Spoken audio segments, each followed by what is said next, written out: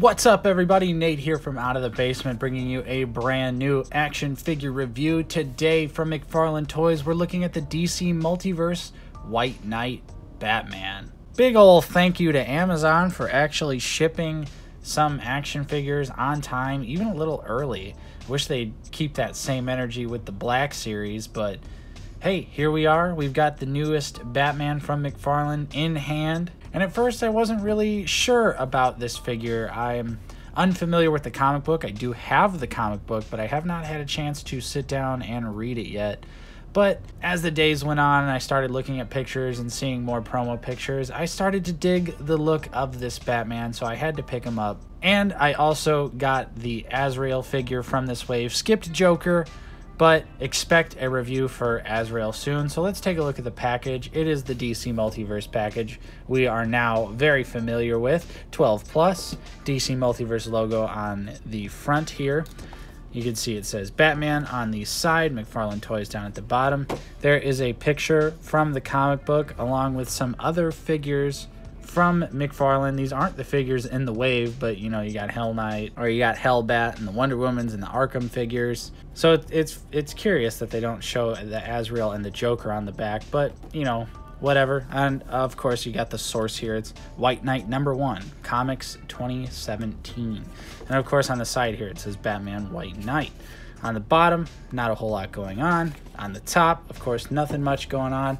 So let's go ahead and free this guy from his plastic prison. We'll take a look at his accessories and then the figure itself. Okay, so first up we have Batman's grappling hook, which is pretty damn awesome. Looks like the old, the uh, animated series grappling hook. It's got some nice silver paint on the side. And of course it fits in his hand just like that very well. We also have a rolled up bat rope here, which is a nice little accessory piece. You can see like the batarang type deal rolled up and tied onto the rope and it just is sort of dangling there. And he also has storage for it so you can put it on his belt just like that. And if you want to, you could also put the grappling hook on his belt. So you got options there with how you would like to display this figure and what you would like to store on his waist here. So that's actually pretty dang cool.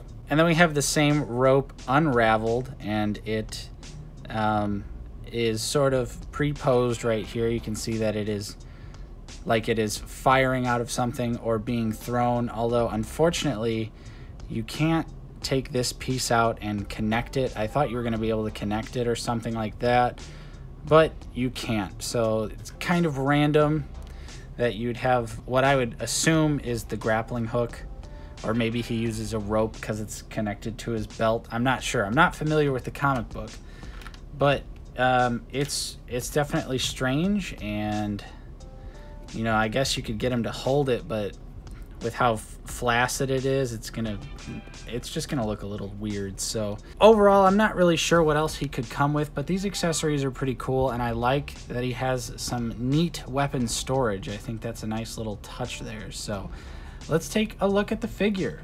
All right, and here is Batman from Batman the White Knight out of the packaging, and he just absolutely looks fantastic.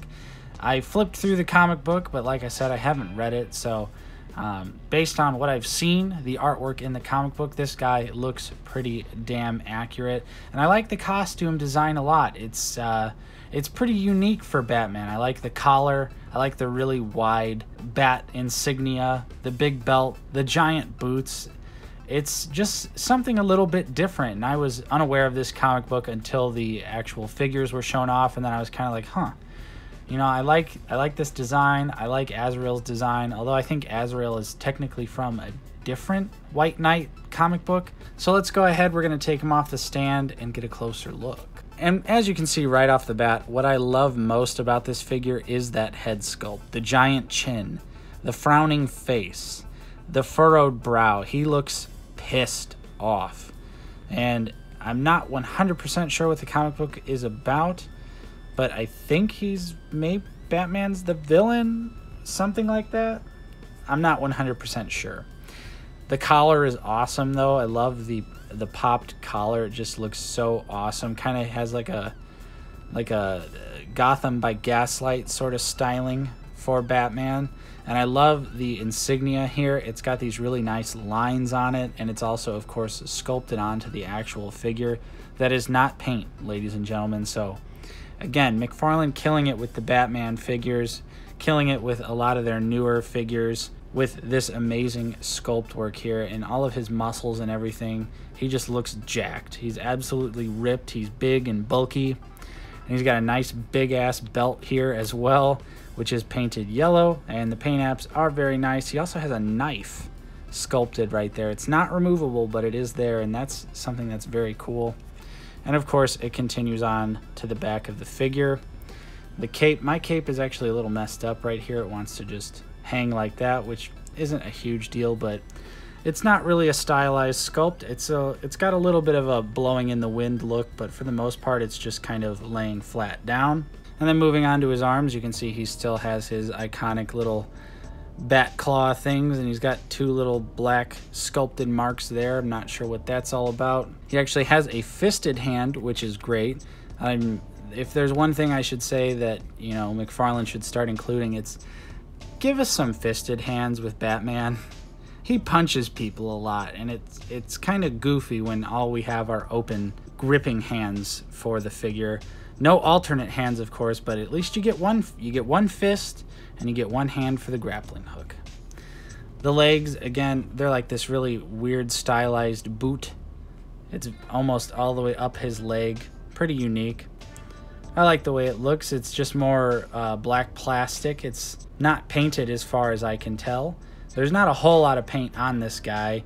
And just like I said with the Arkham figure, I think we could use just a little, just a little black wash on the figure, just to give it a little bit more. This one definitely doesn't look as plasticky as the uh, Arkham Asylum figure, in my opinion. But still, I think just throw that little bit of black wash on there and this figure would look at least two times better. And then moving down, he's also got some unique boot designs here. He's got sort of like the, uh, you know, the things on his arms, but now they're down on his boots. So yeah, I really like the design of this figure. It's a it's a unique sculpt for Batman. And I think the sculpting and everything, the paint application details are pretty clean, and he looks awesome in my opinion. So now let's go ahead and we'll take a look at his articulation. Okay, Batman can look up a pretty decent amount there. Really nice range of motion for looking up, which is always important for Batman. He can look down just a little bit, not too much. It kind of is just like a looking forward face, but still pretty awesome. And of course, you can get some tilt out of that, side to side there and he can look over not all the way because of course the collar gets in the way but you still have a pretty nice range of motion there the collar's nice and soft so it doesn't impede it too bad but yeah for a batman from mcfarlane this is some pretty good head range.